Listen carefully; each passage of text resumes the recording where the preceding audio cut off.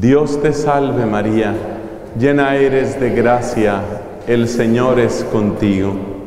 Bendita tú eres entre todas las mujeres, y bendito es el fruto de tu vientre Jesús. Santa María, Madre de Dios, ruega por nosotros pecadores, ahora y en la hora de nuestra muerte. Amén. En el nombre del Padre y del Hijo y del Espíritu Santo. Amén. Queridos hermanos, vamos a hablar sobre la invocación del Espíritu Santo, por qué es necesaria y cómo debe realizarse. ¿Por qué tenemos que llamar al Espíritu Santo? ¿Y cómo podemos, cómo debemos llamar a ese Espíritu de Dios? Esas son las dos preguntas a las que queremos responder en esta oportunidad. En la renovación carismática hablamos con frecuencia, con amor y con alegría sobre los dones del Espíritu Santo. Puede decirse que ya no es un desconocido para nosotros, pero creo que sigue siendo como ya lo nombraba un famoso teólogo del siglo XX, sigue siendo el gran desconocido para una buena parte de nuestros hermanos. Entonces, quiere decir que esas personas, esos hermanos y hermanas no han descubierto todavía por qué es necesario invocar al Espíritu Santo, por qué hemos de llamar al Espíritu Santo. Esa parte creo que no la tenemos suficientemente clara. Pues vamos entonces a responder a partir del testimonio de la Escritura, pero también a partir de nuestra propia experiencia. Y yo voy a empezar por algo muy cercano, algo que como sacerdote lo he tenido siempre muy cerca la familia, la pareja. ¿Por qué hablo de pareja? Porque en los años de sacerdocio que Dios me ha concedido, pocas cosas duelen tanto como ver que se hunde esa barquita que se llama un matrimonio. Eso duele mucho. Y deja en el naufragio, en la soledad, no solamente a los esposos que se separan, sino sobre todo a los hijos. Hay otros fracasos que uno también conoce. Por ejemplo, también sabemos del caso de aquellos que tienen una vocación religiosa o sacerdotal. Y lo mismo que dije antes de la pareja, repito ahora, da mucho dolor ver que una vocación sacerdotal se empieza a hundir como esa barca que he dicho. Eso da mucho pesar, eso da dolor. Y uno se pregunta por qué suceden esos fracasos. Vamos a hablarlo primero desde un punto de vista puramente humano. Y ahí vamos a entender por qué necesitamos una ayuda que no es solamente humana. Humanamente, ¿qué es lo que uno ve cuando una pareja tiene dificultades? Cuando las personas tienen dolor, cuando las personas se sienten heridas, fácilmente se enseguecen sobre sus propios errores y más bien abren los ojos para fijarse y para señalar los errores del otro. Cuando uno habla con una pareja en problemas, ¿qué es lo típico? Que él dice que la culpa es de ella y que ella dice que la culpa es de él. Y cada uno es como incapaz de ver su propia parte. Es incapaz de ver que seguramente ha tenido algunos errores no han cometido los mismos errores, pero sí han cometido errores. Y aquí vamos llegando a un punto muy importante, ¿Qué es eso que nos hace ciegos? ¿Qué es eso que nos hace duros? ¿Qué es eso que nos hace vengativos y que mete en nuestro corazón el deseo constante de desquitarse y de ganar la pelea? ¿Qué es eso? Y vamos encontrando una palabra, la palabra orgullo.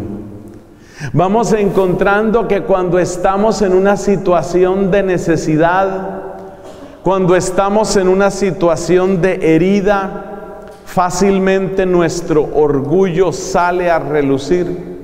Y por orgullo perdemos demasiado. Es demasiado lo que perdemos por el orgullo. Porque por orgullo se hunde esa pequeña barca. Por orgullo se arruinan las vidas de esos hijos. Me acuerdo un sacerdote bastante mayor, con mucha más experiencia que yo seguramente. ¿Sabes lo que decía? decía él, estoy convencido de que prácticamente todas las dificultades matrimoniales se pueden superar, todas. Pero ¿qué se necesita? Se necesita sacar de la casa, sacar del corazón ese maestro terrible que es el orgullo. Ese maestro, ese es el del problema porque no queremos sacar el orgullo. Como no quiero sacar el orgullo de mi vida, entonces no quiero reconocer los errores que he cometido. No quiero pedir perdón por esos errores. No quiero disculpar a la otra persona. No quiero que me vean débil. Y cada una de esas acciones es una barrera que le estoy poniendo al camino de la reconciliación al camino del encuentro, al camino de la restauración.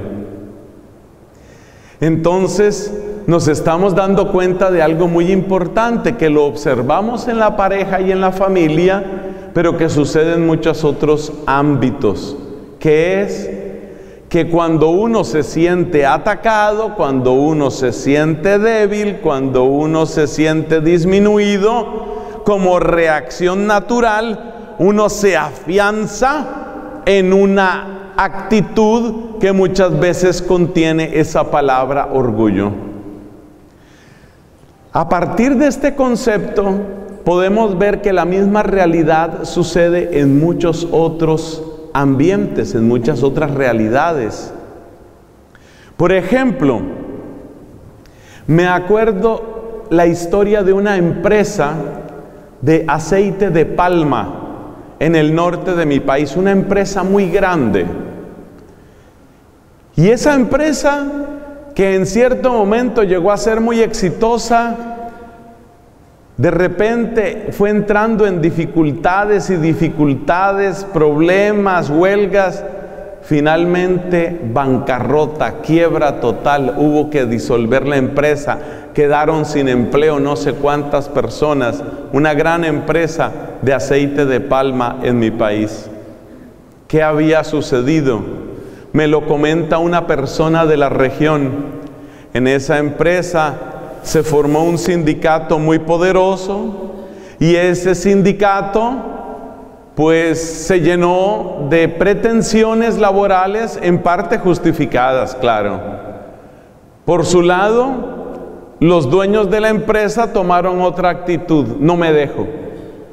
¿Qué era, ¿Cuál era el lenguaje que utilizaba el dueño de la empresa? Yo no me voy a dejar de esos comunistas obreros que quieren adueñarse de esto. ¿Y cuál era el lenguaje de los del sindicato? Nosotros no nos vamos a dejar de esos burgueses capitalistas que no saben sino oprimir al obrero.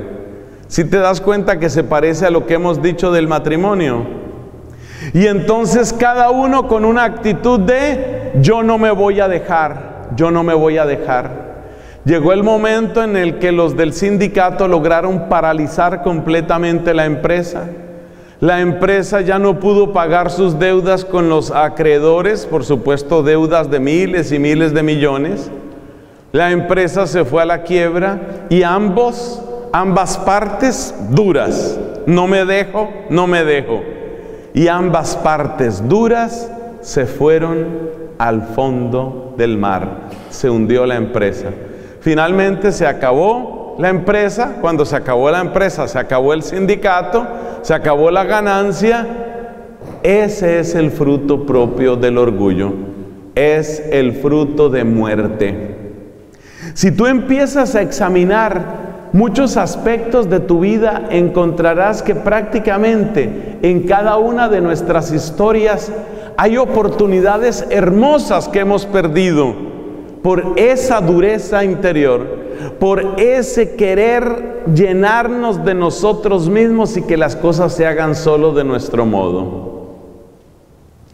Le voy a dar un tercer ejemplo que muestra lo peligroso que es ese monstruo llamado ego o llamado orgullo. Hablaba en otra oportunidad con uno de los terapistas que ha trabajado con esta metodología de los alcohólicos anónimos. También él me decía una frase que me hizo acordar a la del otro padrecito, el que hablaba de los matrimonios. Fíjate lo que decía el de los alcohólicos. Decía, lo único que se necesita para que una persona empiece su recuperación es que admita que tiene un problema. Es decir, lo que detiene a la persona, lo que encadena a la persona en su desastre, ¿qué es? Que no lo admite, que se dice mentiras, que da disculpas, que siempre tiene una explicación. Mira, te estás pasando con el alcohol. No, una que otra vez, una que otra vez, pero todo está bajo control. La persona siente que todo está bajo control. Los que lo rodean se dan cuenta cuántas veces se excede, pero él siempre tiene una explicación, o ella, porque tristemente va creciendo también el alcoholismo y otros vicios también en las mujeres. Va creciendo entonces el alcoholismo. ¿Y cuál es la actitud de la persona? Tengo todo bajo control. Mira, tienes que hablar con alguien, tienes que pedir ayuda. ¿Pedir ayuda a qué? ¿De qué tengo que pedir ayuda? Yo no necesito eso. Y de nuevo, todo está bajo control. Todo está bajo control es que la persona está arruinando su salud, está arruinando sus finanzas, está arruinando su pareja, está echando a perder su hogar y todo está bajo control. O sea que nos cuesta mucho trabajo que pedir ayuda, reconocer que tenemos necesidades. Otras veces tomamos la actitud de que yo sí necesito ayuda, pero yo me sé ayudar solo. Es decir, yo solo necesito que me den las instrucciones y yo lo aplico. Cuando digo esta frase siempre me acuerdo de un chiste que decía, nadie puede aprender a nadar por correspondencia. Es difícil aprender a nadar por correspondencia. Hoy diríamos, eso de por correspondencia suena como siglo pasado. Hoy diríamos, difícil aprender a nadar viendo videos de YouTube. Entonces, uno cree que uno tiene las situaciones controladas o si acaso yo lo mío lo soluciono leyendo un libro, haciendo un curso. Y así seguimos en el fondo encerrados en nosotros mismos. Encerrados en nosotros mismos cuando tenemos dificultades de familia. Encerrados en nosotros mismos cuando tenemos problemas de pareja encerrados en nosotros mismos cuando estamos entrando en un vicio, encerrados en nosotros mismos cuando asoma la tristeza, la depresión. Son situaciones que se presentan. Y yo vuelvo a la frase que decía aquel terapista, lo único que se necesita para empezar una recuperación es pedir ayuda, reconocer tengo un problema y pedir ayuda, pedir ayuda. Bueno, y aquí llegamos a nuestro tema. ¿Cómo se llama en la Biblia pedir ayuda? Se llama invocar. Todo el que invoque el nombre del Señor se salvará, dice la palabra de Dios. Invocar, pedir ayuda al Señor. Ese pedir ayuda, ¿qué es? Pedir ayuda significa tres cosas para los que están tomando apuntes, que son siete personas en lo que he podido contar desde aquí. Supongo que los demás tienen una memoria prodigiosa. Pedir ayuda significa tres cosas, tres cosas importantes. La primera, reconocer que sí tengo un problema. La segunda, reconocer que necesito ayuda. Y la tercera, confiar en quien puede darme esa ayuda.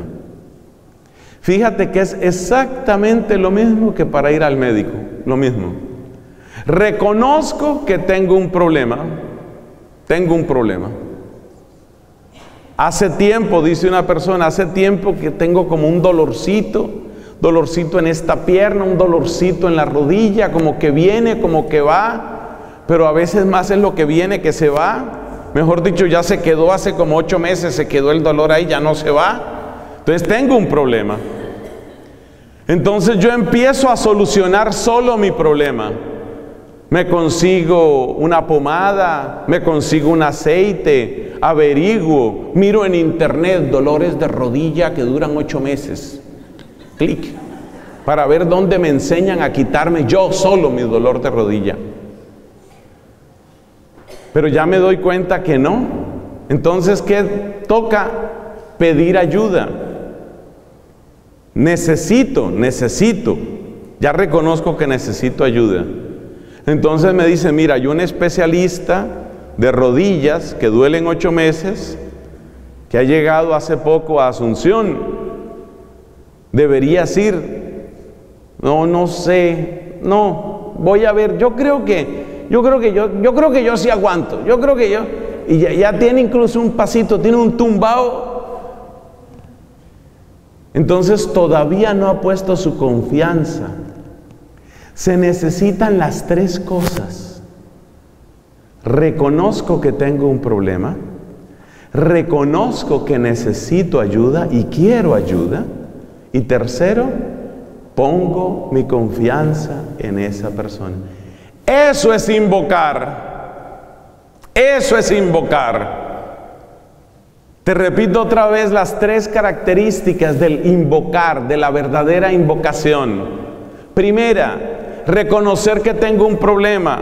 Segunda, reconocer que necesito ayuda y querer esa ayuda.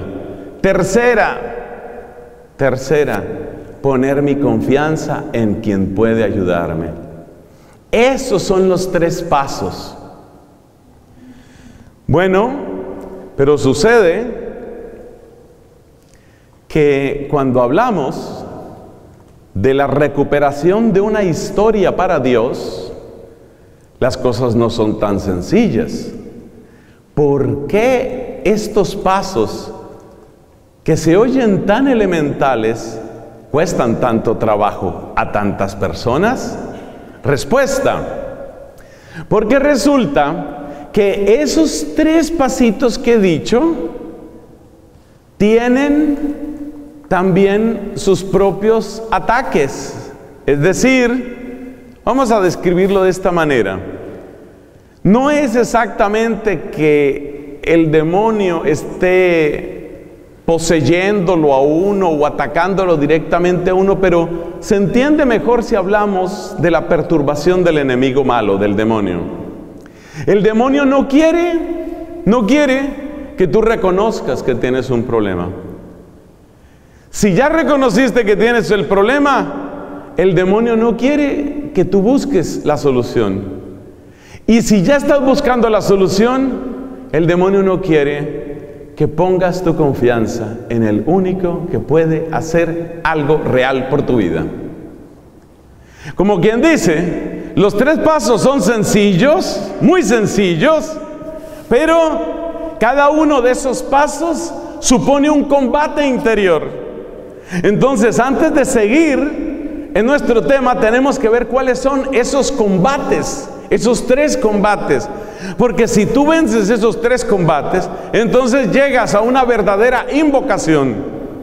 Y el que invoque el nombre del Señor se salvará. Pero, pero, pero, es necesario recordar que esos pasos son combates. Son combates. Y esa es la explicación de por qué encontramos algunas personas que uno dice, ¿cómo es que ha llegado tan bajo? ¿Cómo es que se fue a perder esa vocación? ¿Cómo fue que se hundió ese matrimonio? Es porque cada uno de estos tres pasos es un combate. El primer combate, ¿cómo se llama? Se llama el combate de la verdad. El combate de la verdad. Acuérdate lo que dijimos del alcohólico. ¿Qué es lo que él hace? Decir mentiras y decirse mentiras. ¿Qué le pasa a un fumador? Dice mentiras y se dice mentiras. ¿Tú cuántos cigarrillos estás fumando? Bueno, yo soy un fumador social. ¿Qué será? Ponle cinco o seis cigarrillos máximo al día. De pronto, después de, un almuerzo, un cigarrillito, eh, qué sé yo, cuando voy en el carro para la casa, otro cigarrillito. Otro cigarrillito es que son dos cajetillas al día, pero la persona se dice mentiras. Entonces, el primer combate, acuérdate que el primer paso es reconocer que sí tengo un problema. ¿Cuál es el combate que está asociado a esa primera afirmación? La mentira. Entonces, es la batalla entre la verdad y la mentira. La batalla entre la verdad y la mentira es que uno no quiere reconocer que tiene un problema. Eso suele suceder también en los casos de infidelidad. Lo primero que hace la persona que es negar, negar completamente. Negar. La esposa le encontró un papelito por allá en el bolsillo. A veces las esposas son curiosas. Vamos a llamarlas curiosas. Le encontró un papelito en un bolsillo al esposo con un nombre, Cindy. No tengo nada contra las Cindy's que haya por aquí, ¿no? Nadie vaya a creer. Esto no es nada personal. Y le dice, ¿y esto qué es? No, no te preocupes, mi amor, no te preocupes. Lo que pasa es que tú sabes que yo siempre he sido aficionado a los caballos. Y entonces esta es una yegua que es muy popular, se llama Cindy. Entonces a mí para, para que no se me olvidara, ¿A quién tenía que apostar? Le escribí ahí Cindy. Ah, ya veo. Una yegua. Ah, ok. Pero allá como a las dos semanas le suena el celular al hombre. Mira, te está llamando, aquí dice que te está llamando tu yegua. Entonces lo primero es que la persona miente. Y esa es la primera barrera que hay que vencer para llegar a una verdadera invocación. Uno miente y se miente, uno dice mentiras. Entonces el que es infiel siempre va a decir al principio, no, una amiga, una amiga del colegio. Luego vamos a ver si es realmente así y muchas veces no es así. Entonces esa es la batalla, la primera batalla es la batalla entre la verdad y la mentira. esa batalla es, es muy importante y si no se gana esa, si no se gana esa, no se gana ninguna. Porque la persona que permanece en la mentira, permanece en el pecado. Juan capítulo 3. El que vive en la verdad va a la luz. En cambio, el que está en el pecado se aparta de la luz. Esa primera batalla es fundamental. Llegar a esa victoria es indispensable para todo lo que sigue. La persona que está en la mentira necesariamente sigue en su pecado. Así que lo primero es esa parte de la verdad. A veces uno niega la verdad con mentiras, otras veces uno niega la verdad y esto es nuevo, es un fenómeno social nuevo. A veces uno niega la verdad no diciendo mentira, sino cambiando la norma. Oiga eso, oiga eso, cambiando la norma. ¿Qué quiere decir eso? Negar con mentira, ¿qué es? Pues el ejemplo que ya di. Oye, ¿y esta mujer qué es? Ah, una amiga. Mentira, no es una amiga, pero ahí dijo una mentira. La otra es, la otra posibilidad, ¿cuál es? La otra es cambiar la norma. Aquí llamamos cambiar la norma. Por ejemplo, la persona que dice, mira, estás bebiendo mucho. Sí, pero eso no tiene nada. Todo el mundo lo hace. Es normal. Es decir, es el intento de normalizar el comportamiento en el que uno se encuentra. Eso está pasando en nuestra sociedad también. Por ejemplo, en el vecino llamado país del Brasil hay una epidemia que se está presentando que se llama matrimonios abiertos. Ponle comillas bien grandes, reteñidas. Matrimonio abierto. ¿Qué es matrimonio abierto? Matrimonio abierto quiere decir que se casan, pero cada uno tiene otras relaciones por fuera. El único deber, entre comillas, se pone otras comillas bien reteñidas, pero harto, es avisarle a la otra persona. Es decir, ¿qué es lo que estamos haciendo? Lo que estamos haciendo es elevando a la estatura de normal el adulterio. O sea, vamos a normalizar el adulterio. De modo tal que estamos casados tú y yo, pero al mismo tiempo tú tienes otros hombres, yo tengo otras mujeres y simplemente todos contentos y no vamos a pelear por eso. Eso se llama matrimonio abierto. Sucede en varios lugares. Uno de los lugares donde está creciendo, espero que la cosa esté mejorando, pero uno de los lugares donde está sucediendo es en Brasil, matrimonio abierto. Entonces, fíjate que eso también es una negación. ¿Por qué? Porque la persona que ya normaliza un comportamiento es una persona que ya no siente la necesidad de salir de ese comportamiento.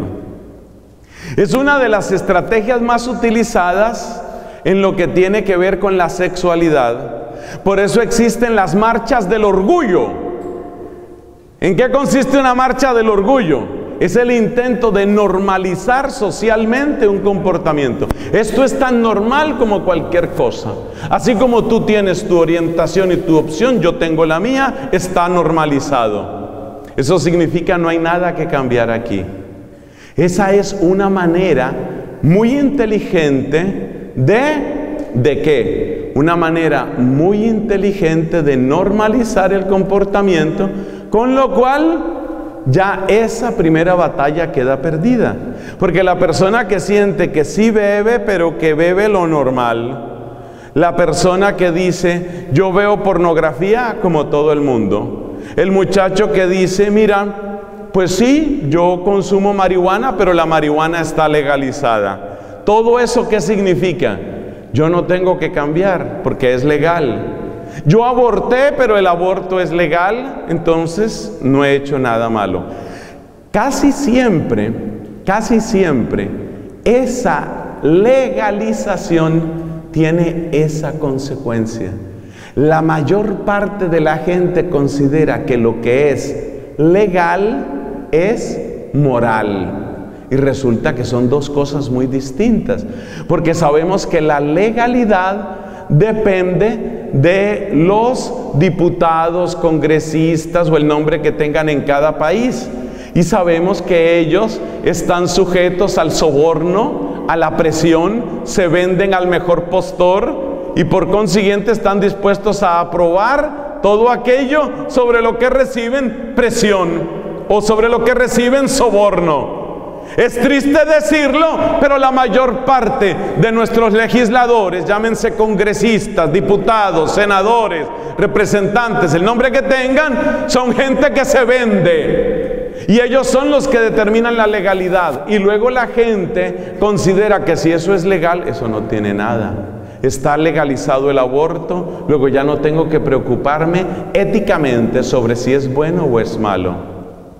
¿Te das cuenta lo difícil que es ese primer combate? Es el combate entre la verdad y la mentira. Por supuesto, ese combate entre la verdad y la mentira tiene su lugar en el corazón humano, como nos dice el Papa San Juan Pablo II en su hermosa y profunda encíclica Veritatis Splendor, el esplendor de la verdad. Nos dice claramente Juan Pablo II que en cada uno de nosotros hay la presencia de la voz de Dios a través de la conciencia. Pero ¿qué pasa? Que cuando la conciencia se escuda en que esto es legal, esto es normal, todo el mundo lo hace, esta es una opción más, cuando la conciencia se acostumbra a decirse mentiras, llega un momento, nos explica este gran papa, en que la conciencia queda cauterizada. Y una conciencia cauterizada, es decir, completamente quemada, ya no responde al impulso del bien o del mal. Es como si estuviera en estado de coma, no responde. Esa es la situación de la conciencia. Entonces es muy importante, esa primera batalla es muy importante. Esa primera batalla es fundamental porque es la batalla en la cual se define qué va a pasar con uno. Si la persona está en las marchas del orgullo, si la persona está convencida de que lo suyo es legal, si la persona se rodea solo de amigos que piensan como él o como ella, esa persona no va a dar un solo paso para cambiar las cosas. Por eso el alcohólico de quién quiere rodearse, no de gente sobria. Porque si se rodea de gente sobria, de esos que antes de las 10 de la noche hace rato están en la casa porque tienen una esposa, unos hijos, entonces esos no le van a acolitar sus borracheras. ¿De quién se acompaña el borracho? De otros borrachos. ¿De quién se acompaña el promiscuo? De otros promiscuos. Es muy importante vencer, vencer esa barrera. Es tan importante esta barrera. Les voy a decir, hermanos, que nuestro Señor Jesucristo, las únicas veces que aparece hablando con fuerza, atacando directamente a una persona, lo hace para vencer este callo, esta muralla. Por ejemplo, cuando habla a los fariseos, ¿cómo es que Cristo, manso y humilde de corazón, les dice a ciertas personas hipócritas, raza de víboras, sepulcros blanqueados. ¿Qué son esas palabras tan duras? Si Jesús es el manso, el humilde de corazón, es el Cordero de Dios. ¿Por qué Jesús habla con esa fuerza? Porque es tan grande su amor que por amor es capaz de lanzar esos misiles es capaz de lanzar ese ariete, es capaz de lanzar ese golpe fuerte, porque hay que lograr como sea abrir esa muralla. Por eso también Cristo nuestro Señor a veces inspira en las personas sentimientos de horrible conciencia. ¿Yo qué estoy haciendo? Dios mío, ¿qué estoy haciendo? Esos sentimientos fuertes, esas sacudidas fuertes esos terremotos interiores, hay que mirarlos como regalos de Dios. Cuando una persona es verdaderamente sacudida, a veces ese es un gran regalo de Dios. A veces, si ustedes miran en internet, se van a encontrar gran cantidad de testimonios de personas que duraron años y años trabajando para distintas industrias del pecado hay, por ejemplo, una señora Patricia, se llama ella, que estuvo trabajando durante mucho tiempo en, el negocio del aborto. Ustedes saben que el aborto es un negocio. Por eso quieren meter ese negocio también aquí. Siempre ponen como pretexto que la mujer, la libertad de la mujer, en el fondo es un negocio, un negocio que reporta millones de dólares por muchos conceptos. Esta señora trabajó durante mucho tiempo en ese negocio, pero hubo un día en el que se dio cuenta estoy matando gente. Fue sacudida, fue sacudida. Y ese terremoto la hizo caer en cuenta, ¿qué es esto? Ella misma se había hecho dos o tres abortos, ella misma. y había ayudado a no sé cuántas mujeres a abortar. Me parece que es ella también, o si no es otra, con un testimonio parecido, la que cuenta lo que sintió cuando le estaba ayudando a realizar su cuarto o quinto aborto a una niña de 15 años. Cuarto o quinto aborto. Y entonces, a pesar de que la conciencia de esta enfermera, enfermera asesina, es decir, cómplice de asesinato, a pesar de que su conciencia estaba tan quemada, tan cauterizada, fue sacudida, fue sacudida. Y a partir de, esas, de, esa sacudida fuerte, se dio cuenta de lo que estaba haciendo. Esa es la primera batalla. La primera batalla es darse cuenta de eso, es caer en cuenta de eso. Y esa primera batalla es un regalo muy grande, muy grande. Yo exhorto con cariño a quienes están hoy aquí y también a quienes nos están ayudando con su escucha, porque ese es un verdadero apoyo a esta obra. Esta predicación se está transmitiendo en este momento en directo para la radio La Voz del Santuario en 93.5. Con mucho cariño les enviamos un saludo desde aquí, también por Facebook se está transmitiendo en directo. Les enviamos un saludo con cariño. Y es muy importante la exhortación que les voy a decir, papás, mamás, no dejen de hablar a sus hijos de estas cosas, no dejen de hablar. A veces una mamá puede sentir, yo ya qué le voy a decir a mi hijo, qué le voy a decir, ya le he dicho tantas veces. No se cansen, que Dios no se cansa de visitar con su amor todos los días al pecador, todos los días. No se cansen de hablar. Hay que hablar porque tú no sabes cuál es esa palabra, cuál es ese día en que se va a lograr. Todos hemos oído de cómo una gota perseverante puede romper una roca. Incluso hay fotos, hay videos de lo que puede hacer una gotica. Quien ve una gota y una gota puede perforar una roca. ¿Y cuál es la gota número qué? ¿Cuál es la que va a lograr por fin romper esa roca? No se sabe. Yo me imagino que son miles y miles y miles de gotas, pero un día hay una que por fin rompe el último poquito de la roca. No dejen de hablar. Hablen a sus hijos, a sus hijas, porque la palabra de amor, sobre todo de una mamá, la palabra de amor es una palabra que queda ahí. Es una palabra que queda. Es una palabra que obra. Es muy, muy grande el bien que puede hacer, sobre todo la mamá, también el papá. Las palabras que uno más recuerda toda la vida, ¿cuáles son? Las del papá, las de la mamá. Entonces es muy importante. Les voy a decir más, queridas mamás. Repito, las que oyen esto por internet, las que oirán esto después cuando se transmita por YouTube, les quiero decir con todo amor, no se cansen. Es posible que ni siquiera alcancen ustedes a ver el fruto. Es posible, pero la palabra de una mamá queda. La palabra de una mamá queda. Hace una semana me estaban contando un testimonio impresionante. Un muchacho, era un muchacho, cuando la mamá lamentablemente enfermó, se agravó y se vio que la cosa era definitiva.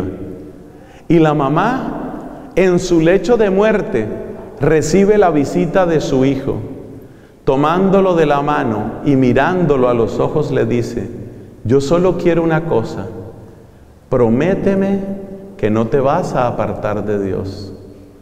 Eso sucedió hace 15 o 20 años.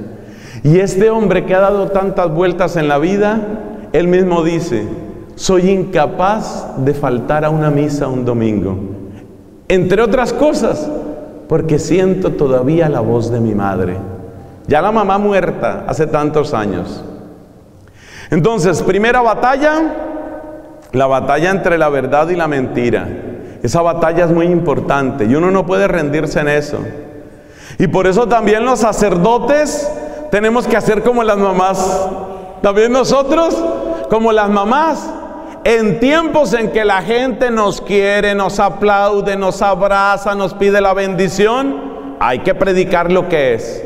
Y en tiempo en que la gente dice, ay, qué iglesia tan retrógrada, ese padre se quedó en la Inquisición, ese padre no sabe en qué siglo vivimos.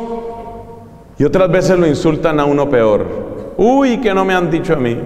Porque como además uno hace presencia en las redes sociales, ustedes se imaginarán los insultos.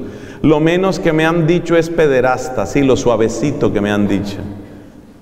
Lo suavecito que me han dicho. Pero uno tiene que ser como una mamá. Uno tiene que ser como una mamá. Sea que me aplaudan o sea que me escupan, hay que decir lo que es. Hay que decirlo.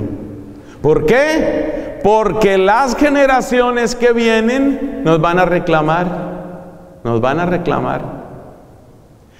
Bueno, la segunda batalla cuál es? Dijimos que eran tres, ¿no? El segundo paso es que uno tiene que pedir ayuda y uno tiene que querer la ayuda. Uno tiene que querer la ayuda. ¿Y cuál es esa batalla? Si la primera batalla es la batalla entre la verdad y la mentira, la segunda batalla cuál es? La batalla entre la esperanza y la desesperación. Esa es la segunda batalla. La batalla entre la esperanza y la desesperación. Es una batalla en la que se ha hundido mucha gente, mucha. Fíjate que la Sagrada Escritura nos dice esto sobre Judas Iscariote. Judas Iscariote se dio cuenta de que había obrado mal. ¿Sí o no? Sí. Siquiera hay cuatro personas que saben la historia de Judas Iscariote. Los demás deben ser de otras religiones, no sé, gente que han venido aquí pasado por el frente. Bueno, Judas Iscariote se dio cuenta de que había obrado mal. Estamos aprendiendo. Estamos aprendiendo, bendito sea Dios.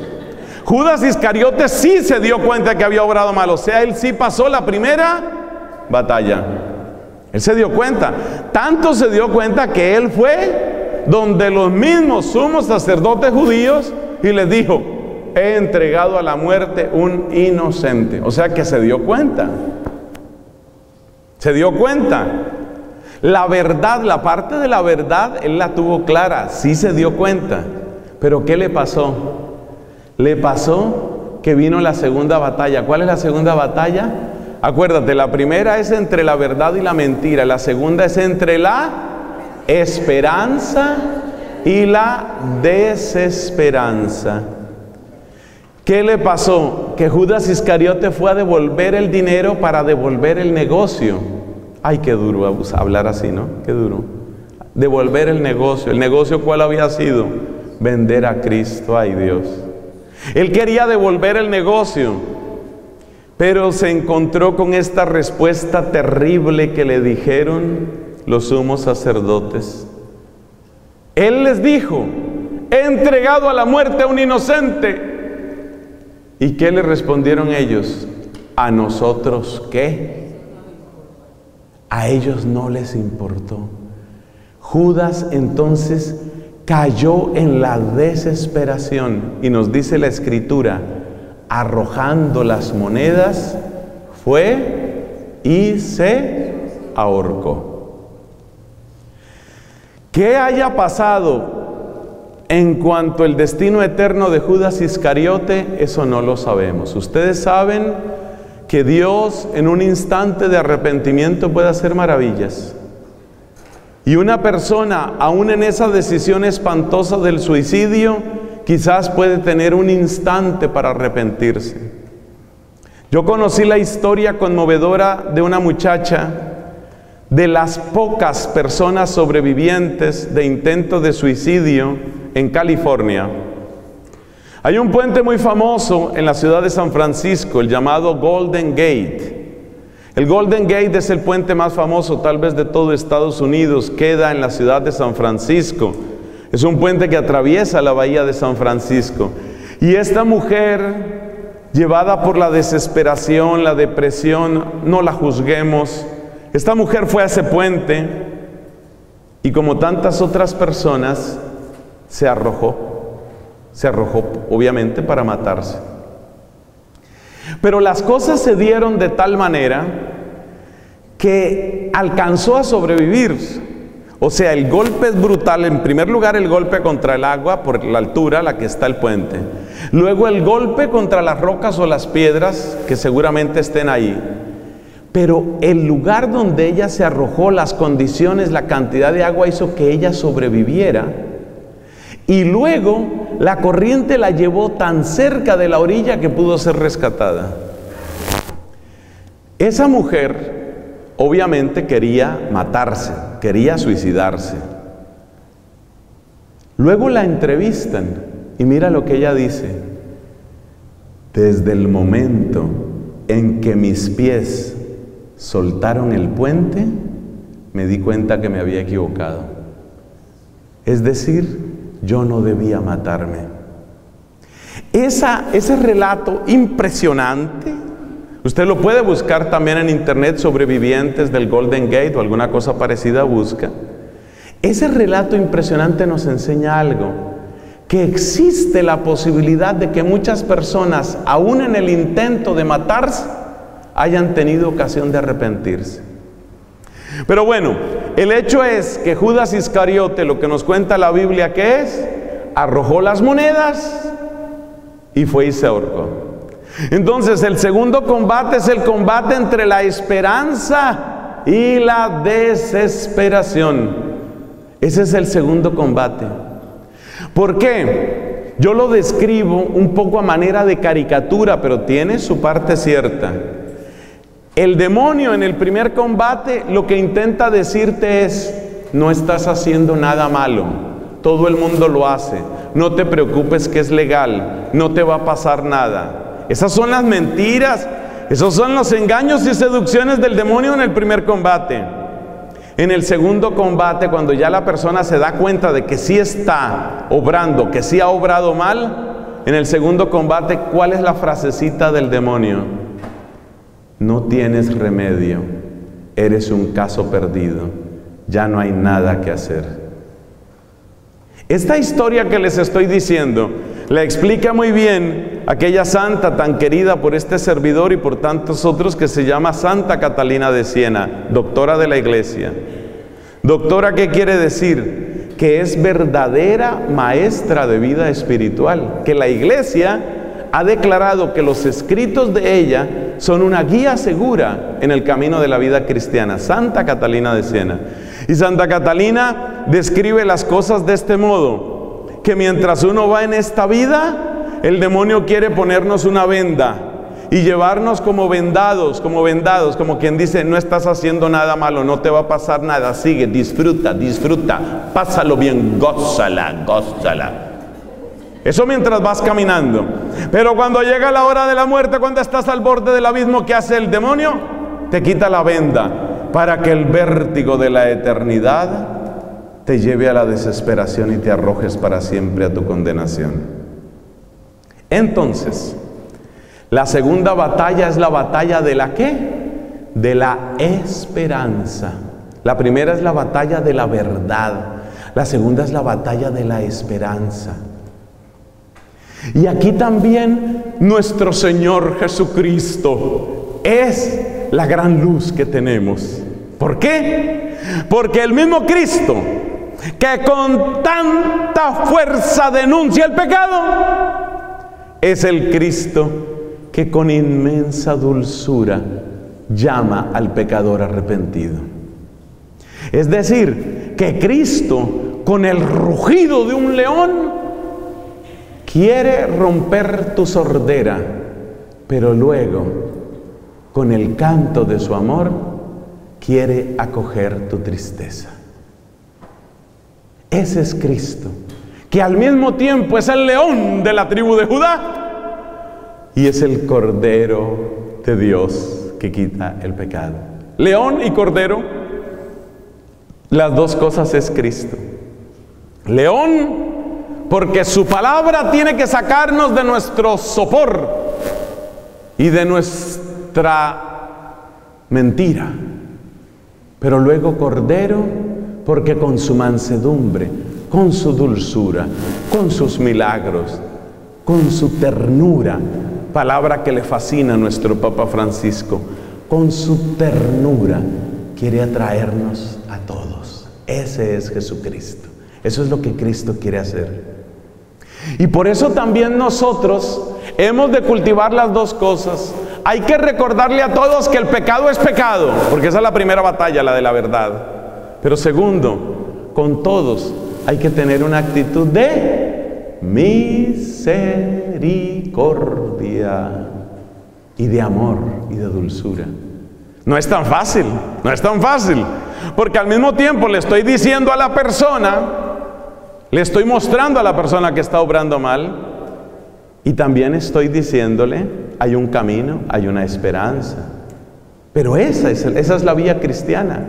No podemos renunciar en la batalla de la verdad, porque si renunciamos en la batalla de la verdad, mis hermanos, dejamos a la gente convencida de que está obrando bien y no están obrando bien. No podemos renunciar en la batalla de la verdad. Pero tampoco podemos quedarnos solamente en el rugido del león. Y tampoco podemos quedarnos solo en el dedo acusador. Pecador, pecador, pecador, culpable, culpable. No, no nos podemos quedar en eso. Muy pronto, la misma mano que ha señalado el pecado tiene que abrirse y tiene que ofrecerse y tiene que acoger. ¿A quién? A todos. Porque cada uno de nosotros necesita eso. Entonces hay que saber señalar el pecado y abrazar al pecador. Eso es, a veces yo lo resumo con estas dos palabras, claridad y caridad. Claridad en la batalla de la verdad, caridad para que no desfallezcan nuestros hermanos en la batalla de la esperanza. Y la iglesia tiene que hacer lo mismo. Tiene que seguir anunciando y tiene que seguir denunciando, tiene que seguir diciendo las cosas como son. Pero, junto con la claridad, la caridad. Caridad, amor, dulzura, ternura, puertas abiertas, puentes, manos extendidas. Bueno, ya llevamos dos. La primera fue la batalla entre la verdad y la mentira. La segunda fue la batalla entre la esperanza y la desesperación. Ahora hay que dar otro pasito más.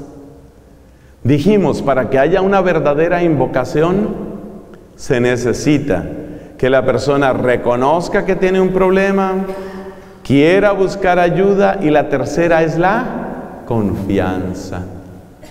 Poner la confianza en el Señor. Poner la confianza en el Señor. ¿Y esa cuál es? Esa es la batalla entre la fe, que en la Biblia significa ante todo esa capacidad de confiar, y la incredulidad. Qué hermosas las palabras con que Cristo le habla. Qué hermosas las palabras con que Cristo les habla a tantas personas. No te he dicho que si crees verás la gloria de Dios. ¿Qué tal ese diálogo que tiene con Marta en Betania? Si crees verás la gloria de Dios. ¿O qué tal ese otro diálogo hermoso con aquel hombre que tenía a su hijito y el hijito estaba epiléptico, estaba enfermo y además de enfermo, poseso, porque la enfermedad psiquiátrica lamentablemente puede también agravarse con una situación espiritual y ese era el caso. Y este papá ya no sabía qué hacer. Y Jesús le dice, no temas, solo ten fe. Y el pobre hombre se debatía. Fíjate que ese, ese, ejemplo, ese pasaje es muy bueno. Porque fíjate que ya se habían cumplido las dos primeras batallas. Mire, tengo un problema clarísimo. el malestar, el mal que tiene mi hijo, el problema, los ataques que le dan, esa cosa tan horrible que tiene, reconoció el problema. ¿Quiero una solución? Por supuesto que sí. Soy el papá, lo amo, amo a mi hijo, quiero lo mejor para él.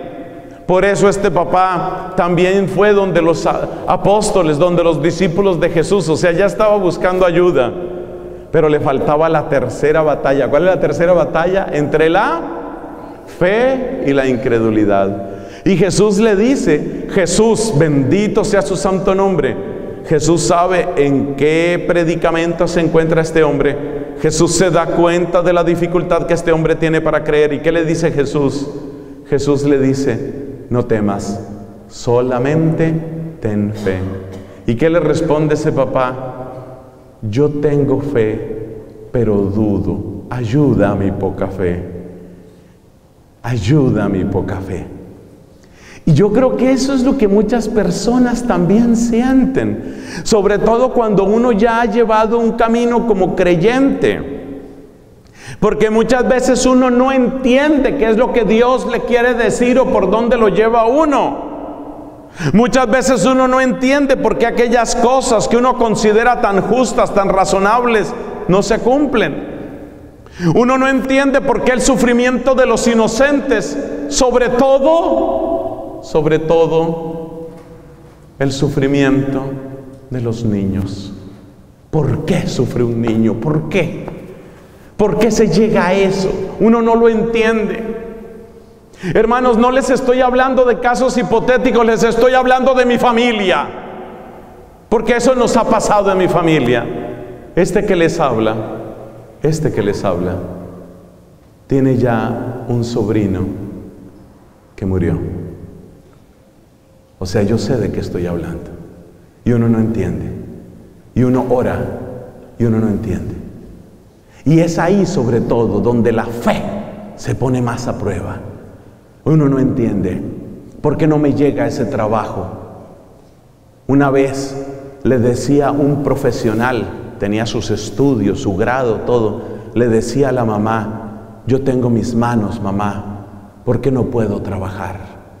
Hace tanto que estoy buscando un buen trabajo, ¿por qué no puedo buscar el sustento para mi familia? Yo busco, toco las puertas, no se abren. ¿Qué hago, mamá? Ese es el momento. Ese es el momento en el que uno se debate entre la fe y la incredulidad. En las otras dos batallas hemos descrito la acción del demonio diciendo que, diciendo que, bueno, primero, ¿qué es lo que te dice? No te preocupes, haz como quieras, disfruta, gózala. Esa es la expresión del enemigo malo. Pásala bien, no va a suceder nada. El cuerpo aguanta, es legal, todo el mundo lo hace. Ya salimos de la Edad Media. Ahora cada uno que haga con su cuerpo lo que quiera.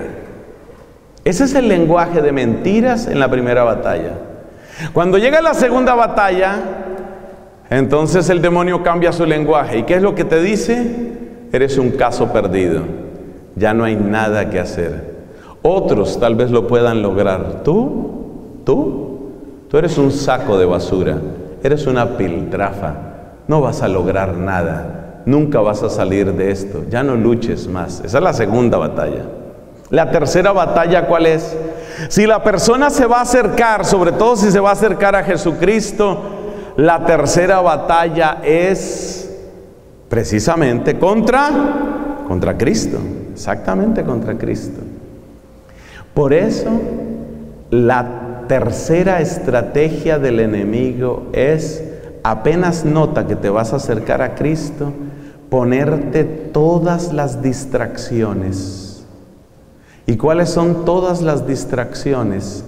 Todas las distracciones son todas las filosofías, todos los ídolos, todas las nueva-eras, todos los inciensos, las velas, los feng shui, los i ching, las lecturas de cartas, los rosacruces, la cábala, mantenerte distraído.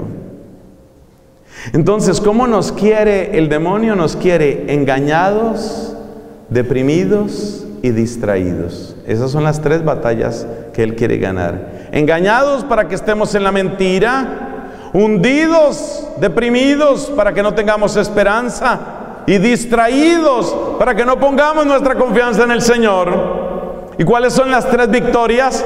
La primera es la victoria de la verdad y la victoria de la verdad es soy un pecador, necesito ayuda. La segunda cuál es? Voy a buscar esa ayuda, voy a ponerme en camino como el hijo pródigo. Me levantaré, iré a la casa de mi padre. Esa es la segunda. ¿Y la tercera cuál es? La tercera es la del ciego de nacimiento que fue curado cuando Jesús le dice, ¿crees en el Hijo del Hombre? Y el ciego responde, ¿y quién es para que crea en él? Capítulo 9 de San Juan. ¿Quién es para que crea en él? Y Jesús le dice, soy yo, lo estás viendo.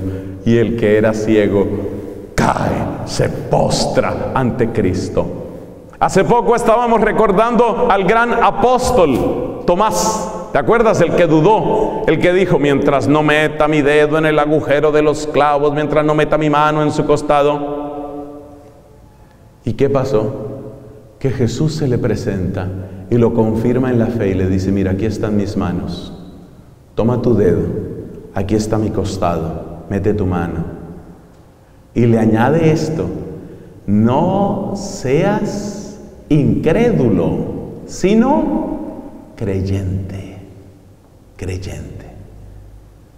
En el momento en el que Cristo le dice eso, los judíos estaban buscando cuál era el siguiente muerto. El primer muerto era Cristo en la cruz. En ese momento los judíos estaban buscando el siguiente. En ese momento la persecución estaba a punto de dispararse. En ese momento ellos tenían que anunciar la noticia más loca, entre comillas, de todos los tiempos. Pero Tomás, ¿qué hace? Se postra y dice esas palabras tan hermosas. Señor mío y Dios mío. Porque me has visto, Tomás, has creído. Dichosos los que sin ver crean. Entonces, esas son las tres batallas. Espero que te las hayas aprendido bien. Repito, para el 96.4% que no tomó sus apuntes, pero tienen buena memoria. Entonces son la batalla de la verdad, la batalla de la esperanza y la batalla de la confianza o de la fe.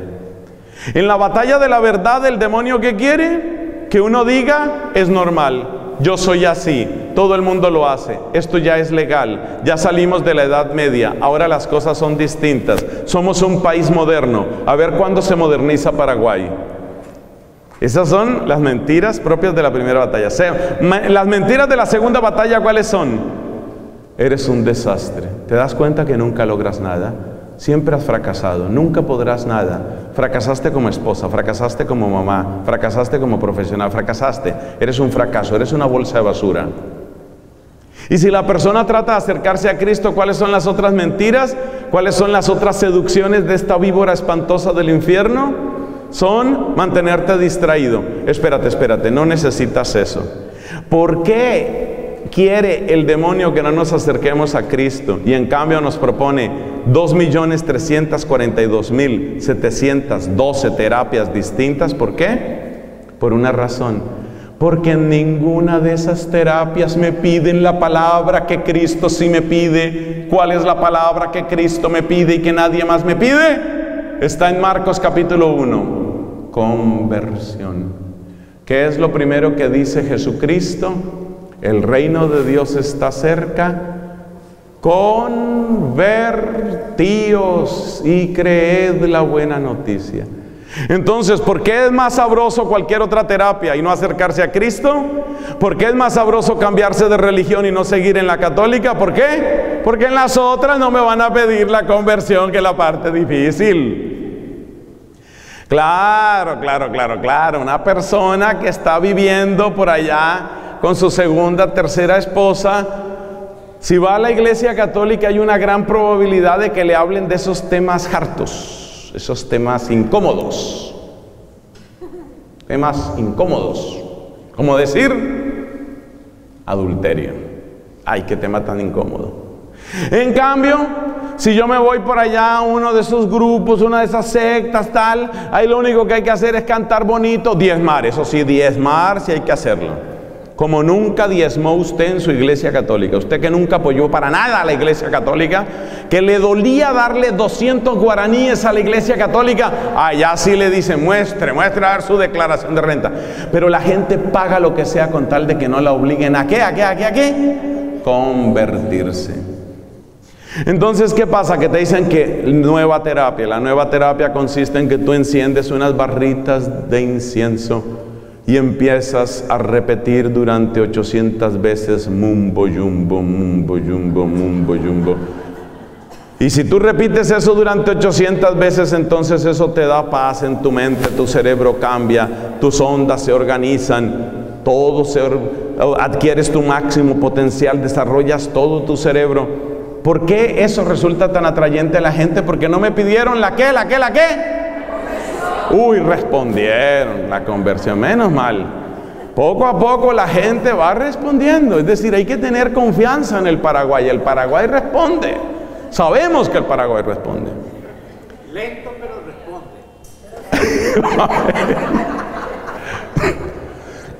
Perdón, entonces, hermanos queridos, esos son los tres pasos. ¿Y qué pasa cuando uno da esos tres pasos?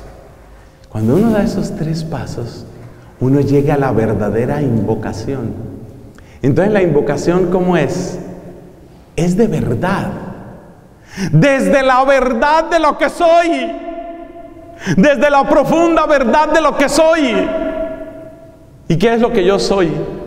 Como decía poéticamente San Francisco de Asís, hombre de barro. Desde la realidad de mi barro. Desde la realidad de mi historia.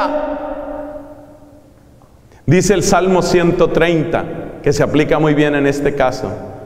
Desde lo hondo a ti grito, Señor. Señor, escucha mi voz. Desde lo hondo, desde lo profundo de tu realidad. Desde lo profundo y lo real, desde lo profundo y lo verdadero de ti. Esa es la primera característica. Ese es el primer llamado. Segundo, el llamado se hace desde la esperanza. ¿Y cómo puedo encontrar esperanza? Si he fallado en tantas cosas, si he fallado como amigo, he fallado como esposo, he fallado como papá, si he fallado como trabajador, quizás yo debo decir si he fallado como religioso, si he fallado como sacerdote, ¿de dónde vendrá mi esperanza? Ah, es que la esperanza no proviene de que yo sea bueno, sino proviene de Romanos capítulo 8. La prueba de que Dios nos ama es que siendo nosotros todavía pecadores, Dios envió a su Hijo. Entonces, uno hace nacer la esperanza, no a partir de cosas buenas de uno, no Señor, de ahí no va a salir. ¿De dónde vendrá la fuerza de la esperanza? No viene de cosas buenas de uno. La fuerza de la esperanza, ¿cuál es? La fuerza de la esperanza es lo que vemos en los evangelios. Aplícate el evangelio. Señor que recibiste al leproso. Señor que acogiste a la adúltera. Señor que abrazaste con ternura al pecador. Señor que compartiste la mesa con los publicanos. Señor que admitiste el hospedaje de saqueo. Señor Señor, yo quiero acercarme a ti. Qué lindo eso. Y ahí nace la esperanza. Viendo cómo Él ha tratado a otras personas, nace en mí la esperanza. Y tercero, no te dejes distraer. No te dejes distraer. Pon tu confianza en Él. Para lo cual la frase más perfecta que yo he conocido es la frase que dice, váyame bien o váyame mal, con Jesús me quedo. Mire, el día que usted suelta esa frase, el demonio hace rechinar de rabia sus quijadas. Esa frase derrota a Satanás. Váyame bien o váyame mal, con Jesús me quedo. Porque claro, lo que Él quiere es que tú empieces a hacer un análisis costo-beneficio. A ver, ¿Cuánto me cuesta confesarme? Mucho, muchísimo. Confesión es una cosa muy difícil, es muy pesada, muy vergonzosa. Es durísimo, es pesadísimo. ¿Para quién? Para mi ego. ¿Y qué beneficio voy a obtener? Lo mismo que se obtiene con unas velitas pintadas, reacomodando los muebles, poniendo una pirámide, colgándome un cuarzo, asistiendo a una terapia, adquiriendo nuevas posiciones. Me encontré un meme, ahora se habla mucho de memes, ¿no? Me encontré un meme en Facebook muy bonito que dice lo siguiente, de acuerdo con los grandes maestros de eso que llaman yoga, hay un gran total de más de 16 mil posiciones en el yoga. 16 mil. La más conocida, por supuesto, es la de la flor de loto, que la gente une los deditos, se sienta con las piernas cruzadas, pone la espalda derecha. Esa es la más conocida, pero dicen que son en total cerca de 16 mil posiciones para buscar la luz, la paz, la salvación. Y decía el meme, en el yoga hay 16 mil posiciones que son solo promesas. En la fe cristiana hay solo una posición, la de Cristo en la cruz. Esa es la posición. Entonces, date cuenta, date cuenta que uno no debe dejarse distraer. Por eso es muy mala idea estar buscando por un lado y por otro y por otro, porque ahí es donde te distraes. Y ahí es donde la mente termina diciendo, bueno, más o menos todo es lo mismo, todo es lo mismo, sí. Y siempre dicen en la misma comparación, es como una montaña, tú la puedes subir por el norte, la puedes subir por el sur, la puedes subir. Lo importante es llegar a la cima de la montaña. Si tú llegas a través de tu religión musulmana, si el otro llega a través de su humanismo, si el otro llega a través de sus rezos, cada uno que llegue como pueda. Eso dices tú. Ahora cuéntame una cosa.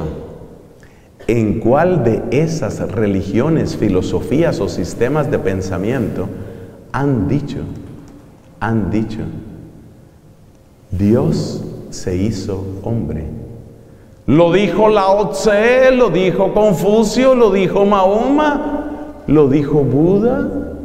No, solo hay uno, solo hay uno. Entonces no te dejes distraer. Esas son entonces las tres claves. Primera, la invocación debe ser desde lo profundo del corazón, desde tu verdad, desde tu barro.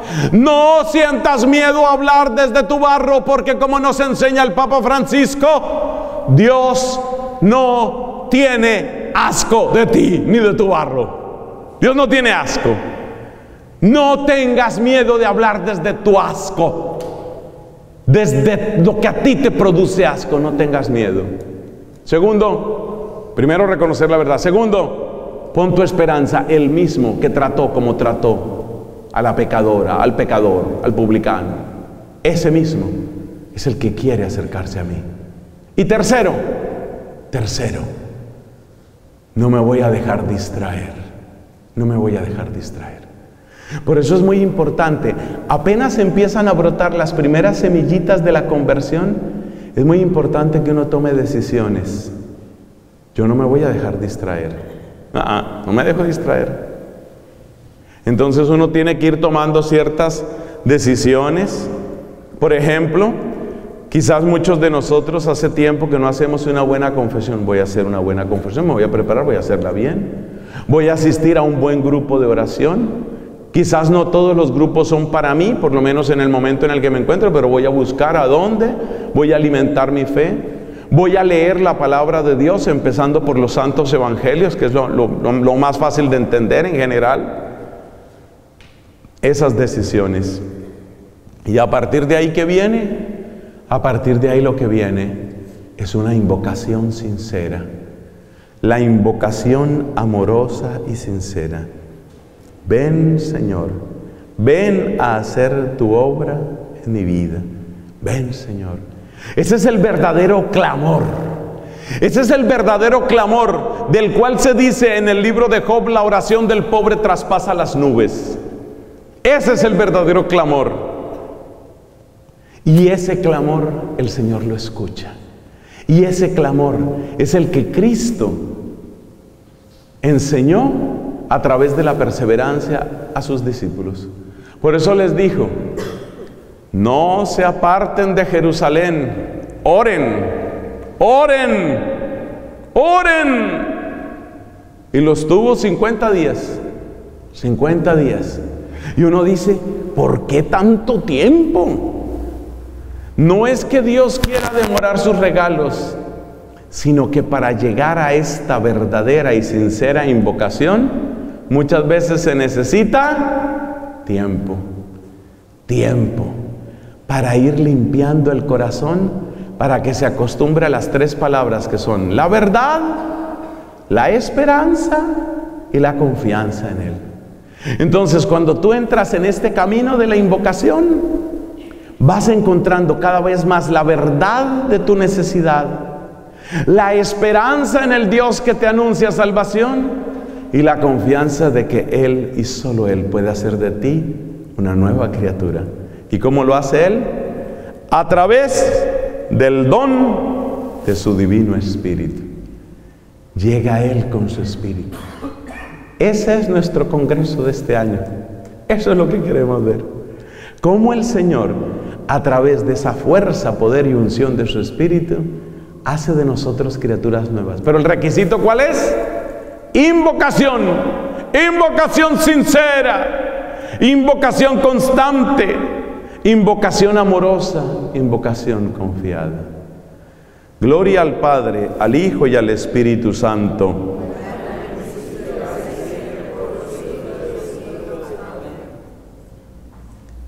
Vamos a ponernos de pies ahora, mis hermanos, y vamos a hacer un ratico de esa oración. Los apóstoles, después de tres años de predicación, necesitaron 50 días, 50 días, para dar la medida.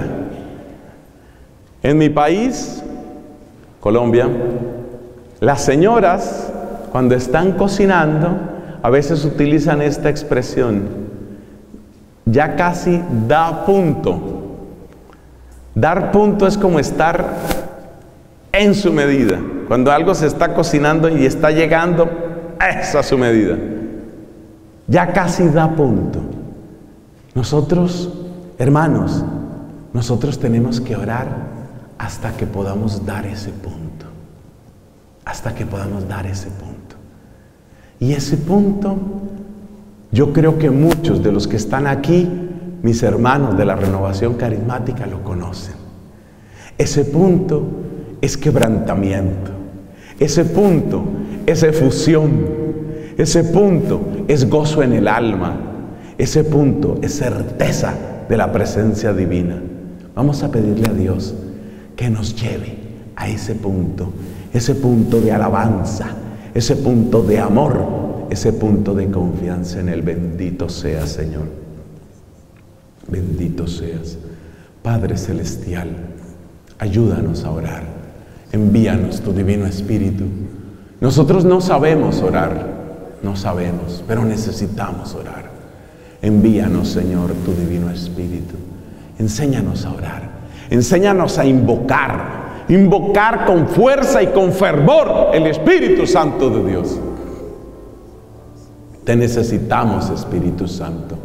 Te necesitamos, Espíritu Santo. Ven a nosotros, ilumínanos. Muéstranos nuestra verdad. Esa verdad de la que quizás hemos huido durante tanto tiempo. Muéstranos la verdad, Espíritu Santo. Esa verdad que es la verdad de nuestros errores, los que no hemos querido admitir. Muéstranos la verdad, Espíritu Santo. Y haz que al reconocer esa verdad, podamos verdaderamente también abrirnos a tu amor. Ven Espíritu Santo, ven. Hoy te damos permiso Espíritu Santo. Oh Señor, Señor, escucha esta plegaria. Recibe Señor estas manos que extendemos hacia ti. Toma mi corazón, como decía aquel santo, toma mi corazón hoy porque mañana no sé si será mío. Toma mi corazón hoy que te lo ofrezco, Señor porque no sé si mañana será mío. Toma mi corazón, Señor, bendito seas. La gloria, la alabanza para ti, Señor, llega con el don de tu Espíritu. Llega con la fuerza de tu Espíritu. Dame esa esperanza, Señor, para sonreír desde ya lo que tú estás construyendo en mi vida, Señor. Dame ese don del Espíritu para descubrir ya lo que tú quieres, Señor, Alabado seas. Bendito, bendito seas, Señor. A ver, ¿quiénes van abriendo esa boca para llamar al Espíritu, para bendecirlo, para darle la gloria, para darle la alabanza, para decirle, ven a mí, Señor, ven a mí, te necesito, te necesito, Señor, te necesito, Señor. Es verdad que te necesito, yo reconozco la verdad de mi alma y reconozco, Señor, que te necesito. Envía, Señor, ese espíritu, porque sin tu espíritu ni siquiera podemos pronunciar el nombre de Jesús. Danos, Señor, tu espíritu para reconocer con la fuerza de ese espíritu quién eres tú y quiénes somos nosotros. Bendito seas, Señor. Bendito seas, Señor, bendito y amado seas. Gracias, Señor. Gracias, Jesús. Gracias, Señor. Gracias por lo que haces en nosotros. Gracias Señor, bendito seas, bendito y amado seas. Llega con ese espíritu. Danos esa esperanza, danos esa confianza. Danos esa capacidad de decirte, sí, sí Señor, sí, sí somos tuyos, sí queremos ser tuyos, sí queremos ser la obra de tus manos, sí queremos renovarnos con tu fuerza, con tu gracia y con tu amor. Amén.